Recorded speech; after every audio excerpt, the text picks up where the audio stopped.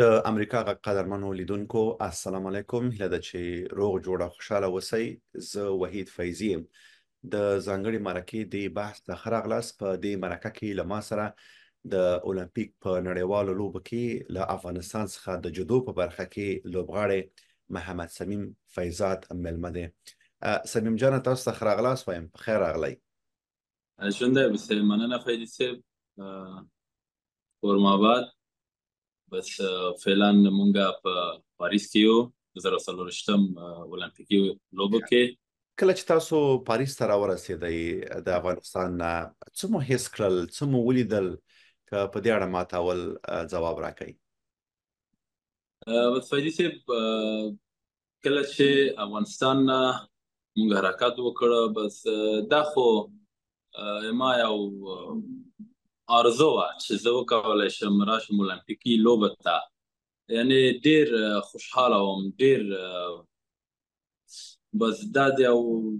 دا المپیکي لوبه ته هر ورزشکار نشي کولای چې راشي باید ډېر زحمت وباسي ډېر تمرین وکړي کوم سابقې تر سره کړي تر څو وکولی شي چې دې لوبې ته لاره پیدا کړي بس ډېر خوشحاله وم ډېر ښه حس مې درلوده ډېر ښه لکه څنګه تاسو ته اشاره وکړه د المپیک لوبې د نړۍ په کچه ډېرې مهمې لوبې دي چې ډېر پیاوړي لوبغاړي پکې ګډون کوي سږکال په دې لوبه کې تاسو چې د جدو په برخه کې ګډون کوئ نور لوبغاړي په کومو برخو کې د افغانستان څخه نور لوبغاړي شته لکه کیمیا جان دی چې جیلکیانو له طرفه اتلتیک کې دی شاه محمود دی هغه هم اتلتیک کې دی فهیم جان دی چې هغه سویمینګ کېدای بس فکر وکم چې یو فعلن خو دوی موږ سره همدلته دي هوټل کې دي او یو دوه کس یو کس یو دوه کسان فکر وکم چې نور مساغوی تر اوسه نه دي راغلي خراسي فکر کوم دوه نجونې نورې هم د اولمپیک په لوبه کې به د افغانستان نه ګډون کوي بالکل د د سکل دا لوبه د افغانستان لپاره یا په مجموع کې تاسو لپاره څه ارزښت لري دا خو ما لپاره او افغانستان لپاره ډیر ارزښت لري ځکه چې اولمپیکي لوبه چې دی ورسته مې هم ویل چې دا ډیر یو لوی مسابقه ده یعنی ډیر د سطح ډیر جګ دی بس خصوصا زما لپاره د ډیر مهم مسابقه دي ځکه چې دا ما یو ما د ژوند ارزو چې زه باید وکولای شم د مسابقو ته لاره پیدا کړم چې خوشبختانه ما وکولای سو چې سکال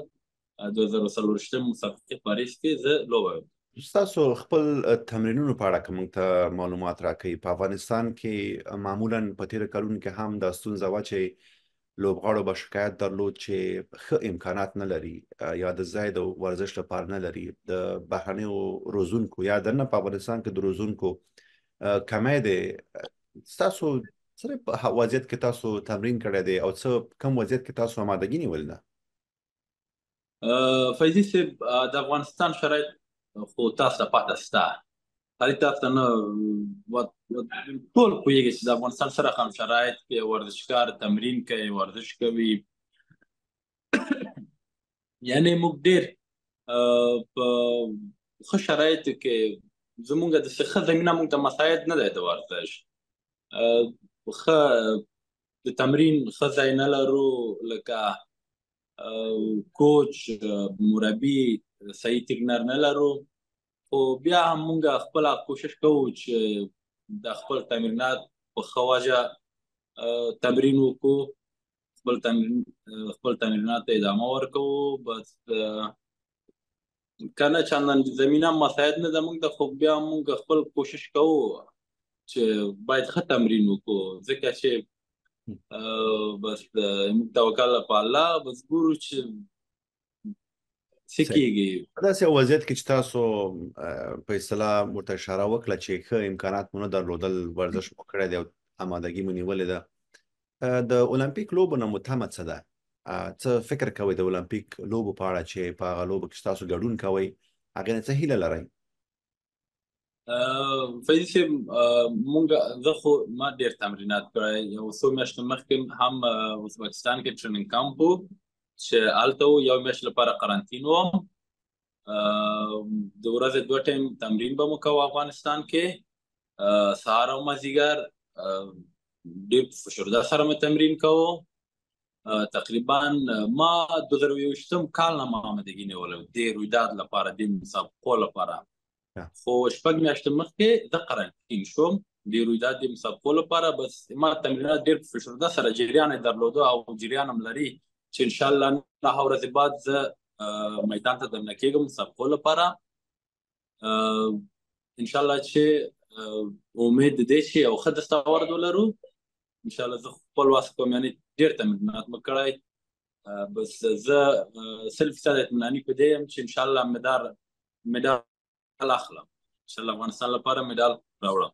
د نورو مسایلو ترڅنګ په افغانستان کې د تېرو درې کلونو راهیسې د نجونو په ورزش هم بندیز لګېدلی دی په افغانستان کې نجونې ورزش نه کوي او څه کال معلومیږي چې تاسو یوازې د افغانستان نه د المپیک لوبو ته راغلي یاست په دې اړه ستاسو نظر څه دی دا محدودیت یا بندیز د نجونو په ورزش باندې څونه تاثیر یې کړی په مجموع کې په ورزش باندې فزي صاحب یعنی زه خو په خوشینۍ سره زه ناراحته شوم ډیر چې زموږ افغانو جلکیانو باندې ورزش درس ټول بندیز لګېدلی خو ما افغانستان کې زه چې په افغانستان کې وم ما د شیانو باندې هېڅ فکر نه کوم د دې لپاره چې زما مخ ته ډېره مهمه لوبه وه لکه اولمپیکي لوبه چې زه زه اوس راغلی یم یعنې ما خپل روحیه نه خرابول خو مجبور وم چې باید خپل ما ټول تمرکز باید آنلی ورزش باندې خپل تمریناتو باندې نور هیڅ لکه زه خفه شوم خفه وم خو زما هم د تمرکز فقط خپل ورزش باندې وو ځکه چې ډېر یو مهمه ساله کې ما برخه اخیستلای باید ان شاء الله چې تمرکز مې آن دی باید ورزش باندې ځکه چې ډیره مهمه سیالي ما مخ ته پروت ده په مکو کې د افغان ورزشکارانو هدف د اولمپیک په لوبه کې د ګډون څخه څه چې تاسو هم پکې شامل یاستئ هدف مجموع کې د ورزشکارانو خو دا دی چې